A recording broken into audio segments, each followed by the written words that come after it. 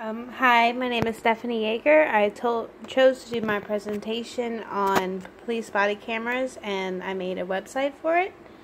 Um, I named it Progression Towards Justice and I have some links as you can see. The first one is about us and that just describes the intention of the fictional organization that I created um, that is pro body cameras for police officers. Um, the next link on the website is history, which describes history of police brutality and the history of um, body cameras and the riots and protests that have been going on in the last few years. And here you see pictures of police brutality in the 60s compared to police brutality today, and as you can see, not much has changed.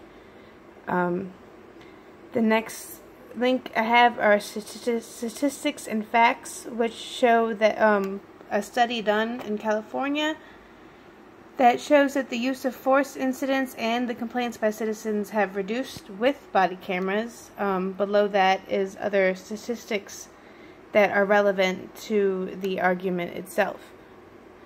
Um, another link I have is media, which are just some videos of police brutality and the last video is a video that shows the uses of um, police body cameras in cases like a terrorist attack or um, a bad disaster or something like that.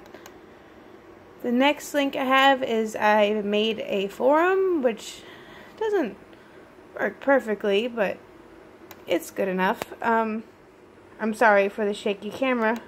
By the way, the next link is ideas that you can do to and take to get involved with the cause itself, um, including voting and being educated on the cause and contacting your representative. Um, the last link I have on my website is a newspaper that shows links that are relevant to police brutality, and in it would also contain relevant um, links to police body cameras as well. Um, thank you.